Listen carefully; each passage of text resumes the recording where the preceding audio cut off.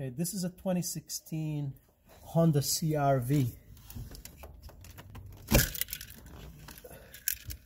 There's just a little clip over here. Now once you lift it, it slides right up. Thank you.